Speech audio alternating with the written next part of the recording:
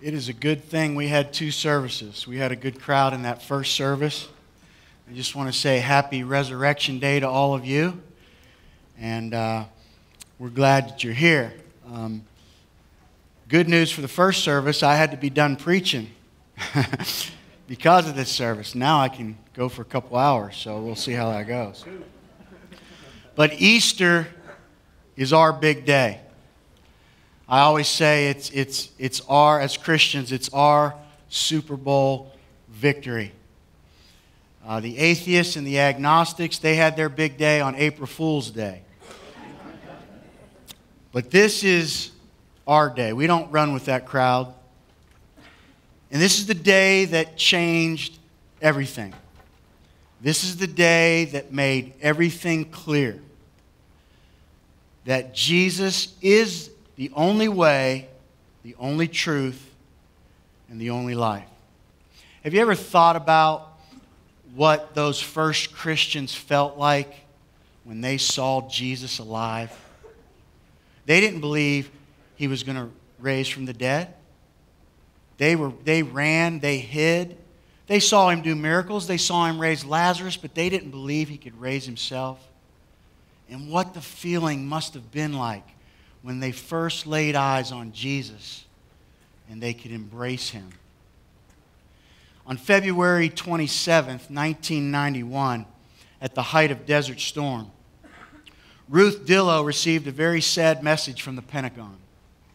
It stated that her son, Clayton Carpenter, private first class, had stepped on a mine in Kuwait and he was dead. For the first couple of days, Ruth Dillow was filled with grief. She was in a painful shock, like any mother would be. It was almost more than she could bear. She was engulfed with sadness. She was angry. She cried hysterically. People tried to comfort her, but she was just too upset to deal with.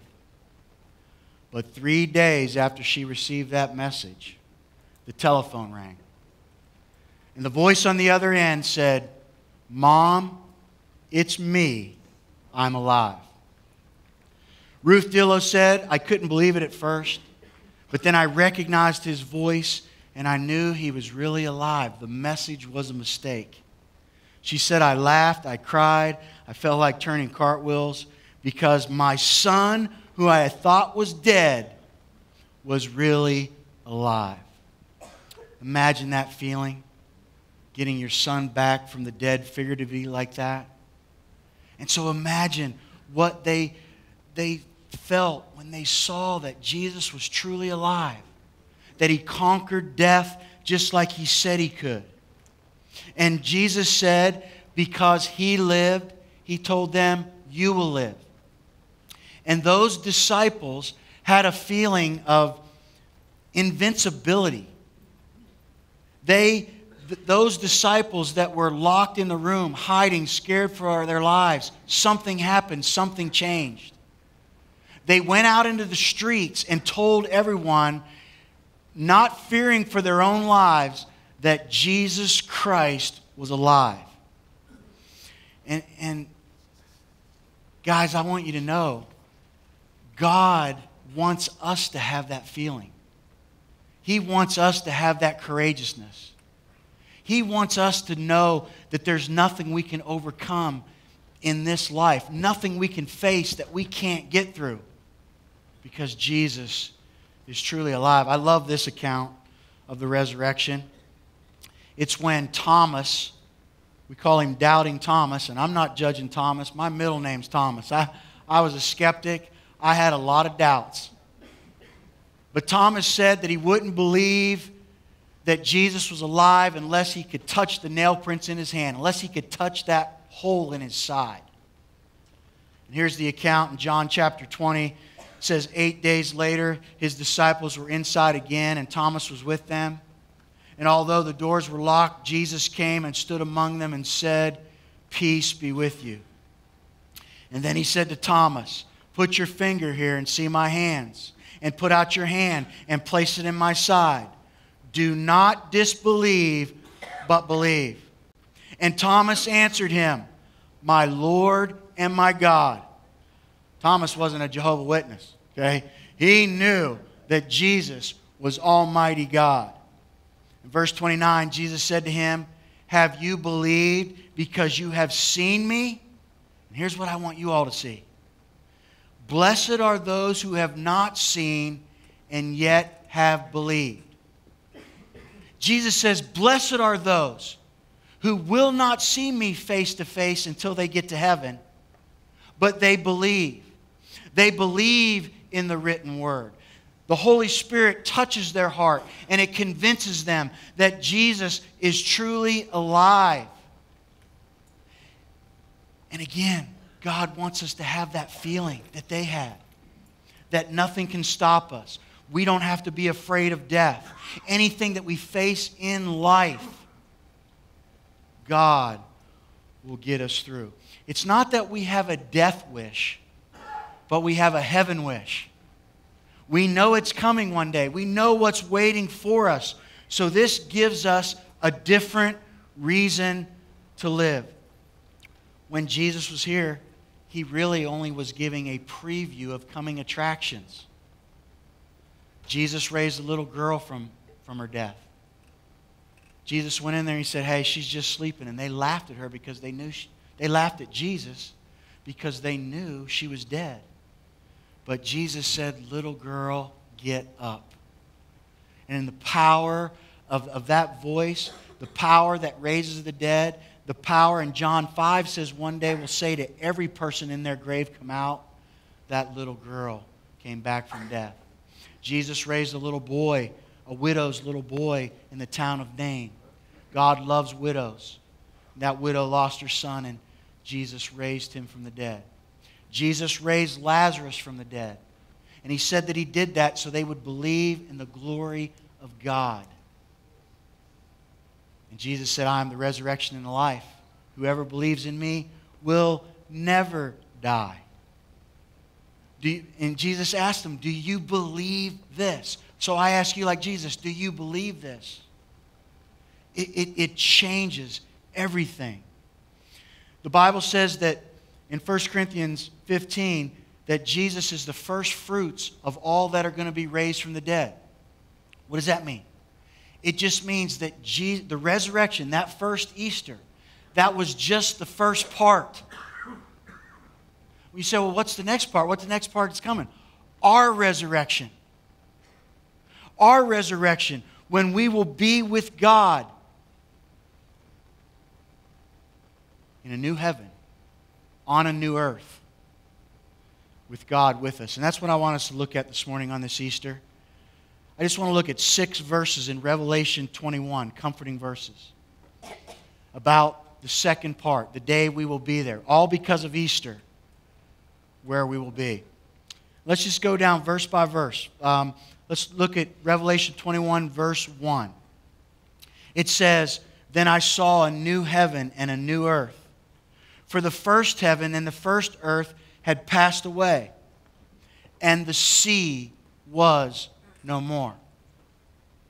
John writes, and God gave him a vision of the future. And John saw that there's coming a new heaven and a new earth. There's a lot of people in our world upset about the earth. There's a lot of people upset, you know, they're upset about global warming and things like that, and we got to do something to save the earth. But what they don't understand, God's going to get in on global warming real soon. All right? This earth is disposable. I'm not saying that that doesn't mean we shouldn't take care of it, because we should. But I'm telling you, it's temporary. There's coming a new one. And just as the Bible teaches, we are going to have new resurrected bodies. The earth is going to have a new body. Okay? My, this body here is going to be resurrected and God is going to make it brand new, but it's going to be me. It's going to be my resurrected body. And it's the same with the earth. Even though God has to, to purge it, burn it up, to start all over, to recreate it, He's going to recreate the earth the way it should be. Romans 8 says that all creation groans, longing for that day. All the creatures of this earth are longing for that day. I think that insinuates that God is going to recreate the animals, meaning I believe your pets are going to be there, okay? And, and it's, and it's, it's going to be a glorious time. And the, and the Bible says there's streets there, there's buildings there, there's people there. We're not floating on a cloud playing, playing a harp. We are in resurrected bodies embracing one another in a new heaven and a new earth. Now, you might see that part where it says, and the sea was no more, and that kind of frustrates you because you like the beach. And you're like, why is God getting rid of the sea? Well, it doesn't mean that there won't be a body of water on the new earth, okay? It's just saying it's going to be different. It's probably going to be more like the first earth where there was a Garden of Eden, and there were definitely sea creatures there. But the point of John saying there was no more sea, the ancient people were terrified of the sea. They thought you went out there in a boat, you could fall off.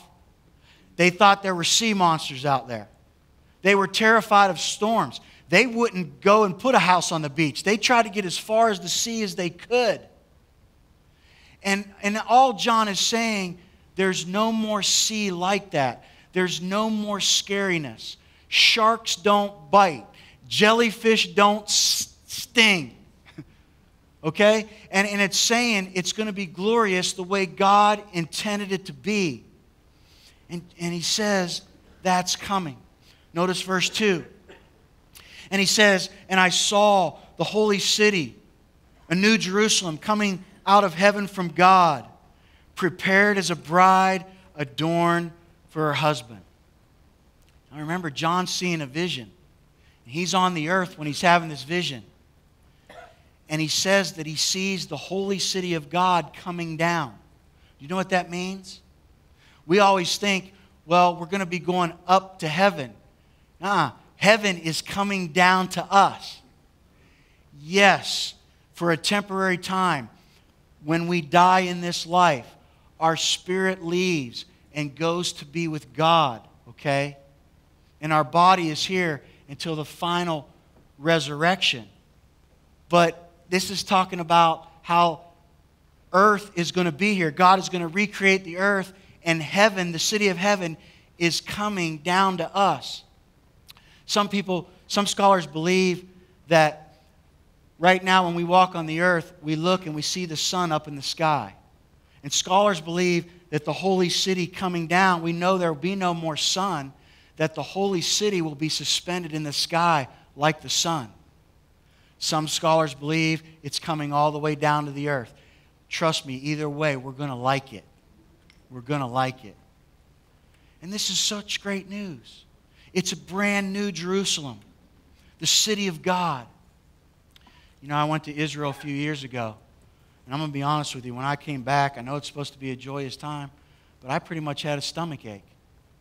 I had a stomach ache of what, what people are doing to God's land, God's city. And they've got false religion there, and they've got corruption there. And, and they, they sell things in the name of God, and, it, and, and it's, it's, it's kind of sickening, to be honest.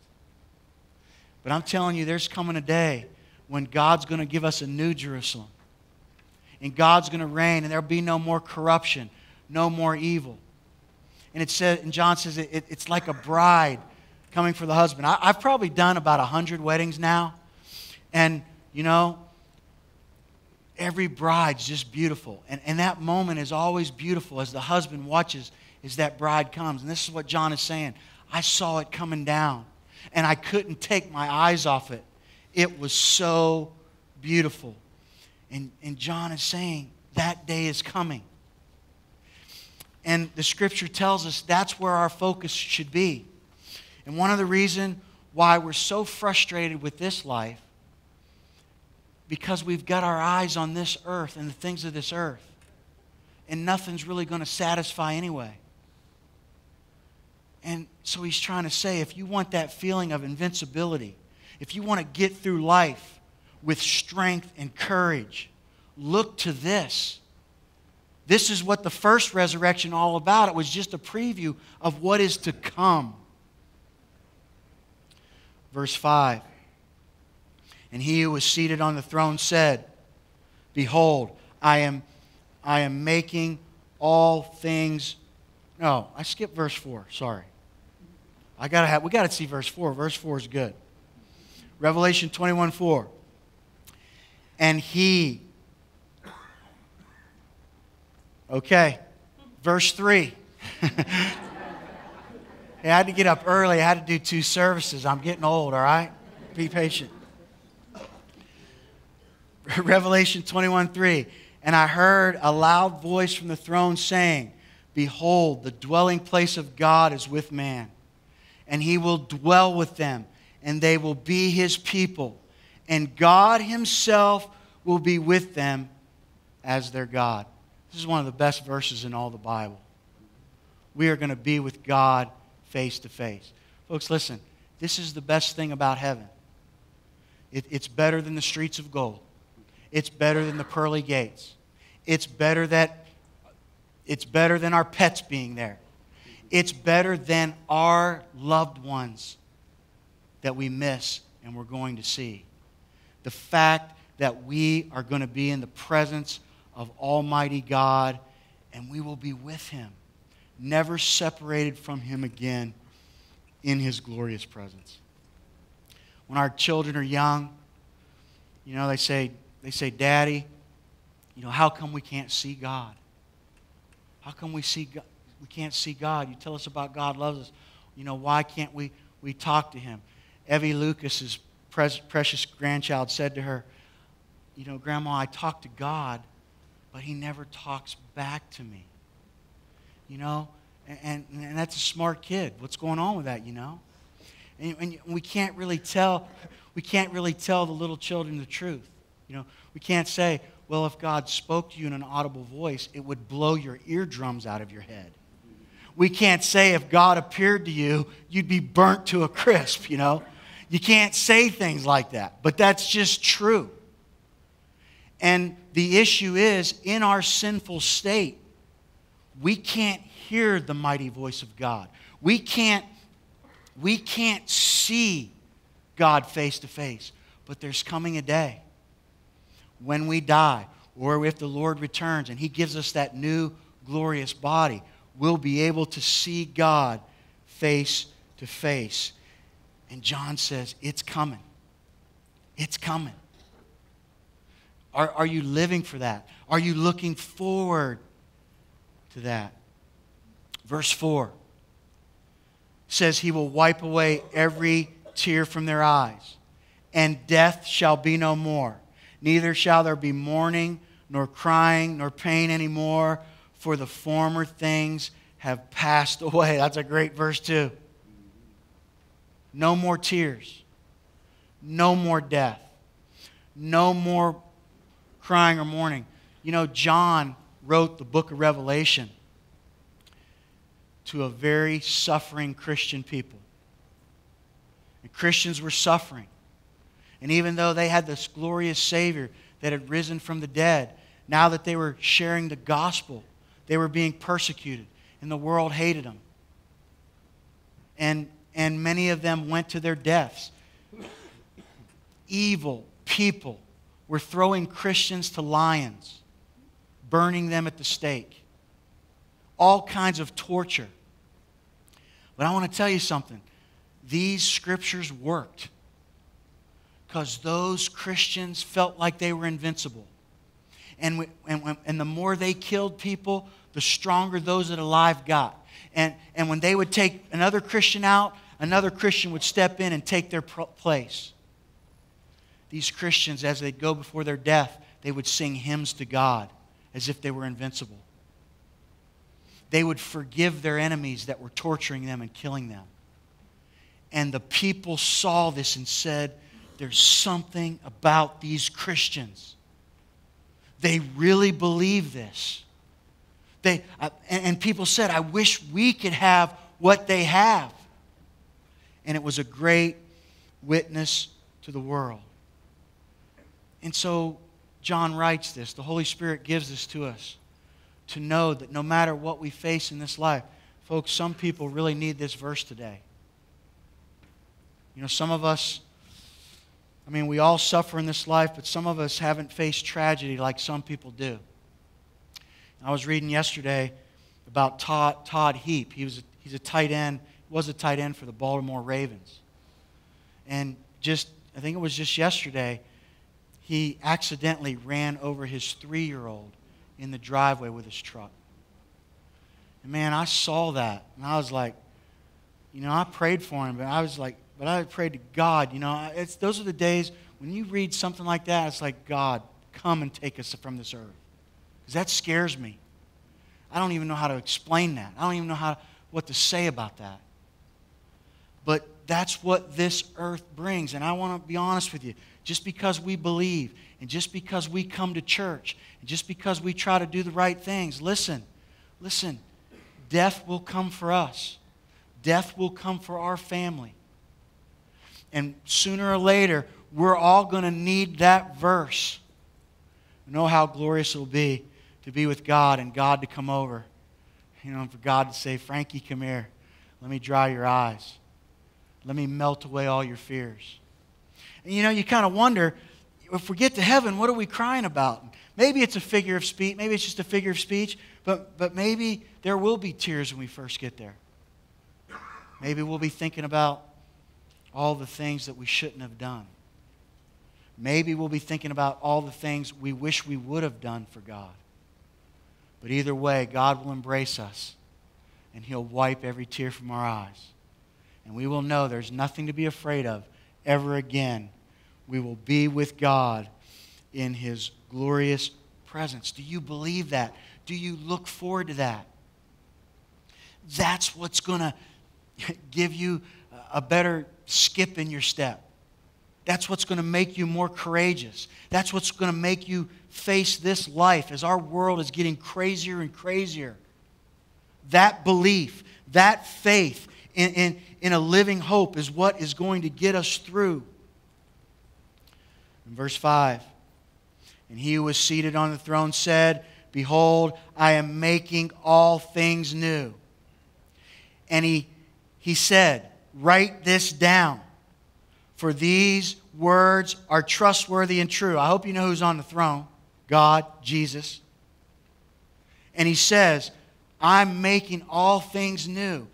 And, and you know, John's supposed to be writing it down, so I don't know why he has to tell him, write this down again. Maybe John just got caught up in the moment of talking about heaven and everything he's seeing.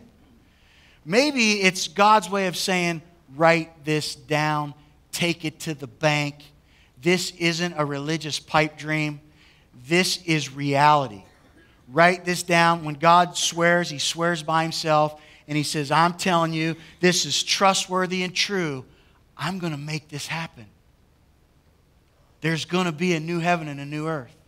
I'm going to wipe every tear from your eyes. You're going to be in my presence. And this is the living hope. The Easter message of the resurrection gives us, as Peter says, a living hope. We are hope shaped creatures, folks. And when you lose hope, when you lose hope, there's, there's nothing to live for anymore. And Jesus did this so he could, we could be a living hope. I heard about two men in ancient times. They both were sentenced to a dungeon for 10 years. One man heard that his, his wife and his children were killed. The other man heard that his wife and children were alive, and his wife sent a message saying, We will wait for you. Well, the man that lost his family and had no hope, two years later, crawled into a ball and he died. He gave up. But the man that had hope that his wife and his children were waiting on him, he made it through the 10 years of that dungeon. It's incredible what hope will do. And this is what the scripture says that Jesus is our living hope. It gives us an incredible hope to live in this world, to get through this life, to face whatever God calls us to face with incredible courage and peace and power. And then the final verse says this. And he said to me, It is done. I am the Alpha and the Omega, the beginning and the end. To the thirsty, I will give from the spring of the water of life without payment. God says, It's a done deal. Again, take it to the bank. I am the Alpha and the Omega. I'm the beginning and the end. Who made God? God's always been alive. I'm the beginning and the end. God sees the beginning from the end. He already sees this taking place. How do we get to this new heaven? What guarantees that you will be at this new heaven? You will walk on that new earth. Right there. You got to be thirsty. That's it. You got to be thirsty and you got to drink. Okay? It's spiritually speaking. The Bible talks a lot about living water. Jesus told the woman at the well, the Samaritan woman, she was sleeping with five different men. She was all, all confused about religion and what, the, what men were telling her about God. And Jesus looked at that dear woman and he said, Listen, I want to give you living water. You're trying to quench your thirst in this world. You think these earthly men are, are going to are going to give you the longings of your soul. They can't. Jesus said, I'm the one that gives living water. I'm the only one that can satisfy the longings of your soul. I'm the one that's going to give you the home you never had. I'm going to give you love that you've never experienced in this life. But Jesus says, you got to be thirsty for it. And you got to drink. You know, being a pastor over 25 years now, probably close to 30 years, the old proverb, you can lead a horse to water, but you can't make him drink? I can relate to that because I've been talking about the living water for all these years, and many people just aren't thirsty for it. There's no thirst in their heart. Every Easter, every pastor, you know, you know you're going to get visitors. You know there's going to be a big crowd. You know, and I say, what am I? I got I gotta say something. I gotta say something special today that's gonna make that visitor come back. What else can I say? What else is gonna make you thirsty? That God took on a human body. He came, He was tortured for you so that you can have forgiveness of sin. And then He rose from that grave to prove that He's telling the truth and that he's created a new, he's going to create a new heaven and a new earth, and he's going to spoil you for all of eternity. What in the world can I say to make you thirsty for it? There's nothing I can say. You're either thirsty for it or you're not. And I'm telling you, if you're thirsty for it, you won't be able to get enough. Taste and see that the Lord is good, and you'll become addicted to it. You won't get enough of it. You'll be coming back. We won't have to beg you. If you truly have a thirst for Jesus Christ. Folks, I want you to know when Jesus got big crowds, he wasn't as nice as me. Okay? I try to be nice when the big crowd. You know, I want you to come back. Jesus wasn't that nice. These big crowds would show up, and you know, Jesus would talk in parables but he wouldn't explain it like I explain it to you. He'd just tell the parable, and they're all like, what's he talking about? And then he'd go back and tell the disciples, you know, hey, he'd say, he who has ears to hear, let him hear. And, and he'd say to them, you know, they're not thirsty for me. They don't want me. I'm telling them in parables, they won't understand. They won't see it. They won't hear it. Their hearts are hard. They don't want me. And Jesus was like that. If you don't want him, he'll say, Go on your merry way. He loves you. This is an invitation. Whoever will, whoever wants to come without payment, it's all his grace. But you got to want it. You got to be thirsty for it. And you got to drink. And it'll satisfy the longings of your soul. And it'll give you incredible strength until you get to that next life by having faith in Jesus Christ. One more thing I wanted to talk about this morning before we close. This was really on my heart. I was reading the news this week, and so much is going on in our world, you know. And reading, I was just reading about all these, you know, the evil empires and what they're saying, and you know, the threat of people shooting a nuclear missile at us and all this other stuff. And actually, I Googled it. I Googled it. I, I, was, I was wondering, how much time do we got if they do shoot something at us, you know? Because I was going to tell you all if, if it's on the news that a missile's coming, let's meet at the church and let's worship, right? We won't have that much time. but the reason why I tell you this, as I was reading, I could hear the words of Jesus what to look for when the end comes. Nation will rise against nation, kingdom against kingdom. And it just echoed into my mind and heart that we're one day closer. The stage is being set for the end to come.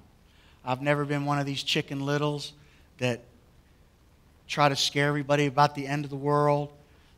I'm not making any dates, not writing any books. But I'm telling you, Jesus, who rose from that dead, t- tells everybody, you better get ready. You better be prepared. That's why I'm telling you this. If you're a believer, you don't have to fear those things. That's what we're talking about. Jesus said, when you see all these crazy things happen, look up, be happy, sing a song. Your redemption draws nigh. But what I'm saying, if you stumbled in here this morning to this Easter service and you're not thirsty for Jesus Christ, and you're not ready, I plead with you with all my heart, you better get ready. The Apostle Paul said, While the world is saying peace and safety, destruction is going to come upon them. So fast. I'm telling you, folks, anything can happen so fast. You read this book of Revelation before all this good news about heaven in the back, it talks about when the heavy stuff's going to come down. One of the first things that's going to happen in the end, John writes that he sees that one fourth of the world is going to be destroyed. One fourth of the world. That's a big explosion. In early times, the early atheists, the early agnostics, they used to make fun of the Bible. They used to say, Yeah, right. How can one fourth of the world be destroyed like that? Well, let me tell you, we know today that it can happen. And I'm just telling you, the stage is being set. If you're a believer, even though the mountains fall into the hearts of the sea, we won't fear. We're courageous. We're going to a new heaven and a new earth. We're getting new bodies. But if you're not a believer, I plead with you today. Maybe you're so maybe you're thirsty for this world. Maybe you just haven't had enough. You're out there drinking salt water and you think it's going to satisfy, but it's not. You need to pray today and say, God, make me thirsty for you. Jesus, make me thirsty for you. I want this grace. I want to be in this, I want to be in, I want to see that heavenly city. I want to walk on that new earth. Jesus said, Whosoever will may come, and he'll receive your thirsty soul. Let's close our eyes and pray together before we worship.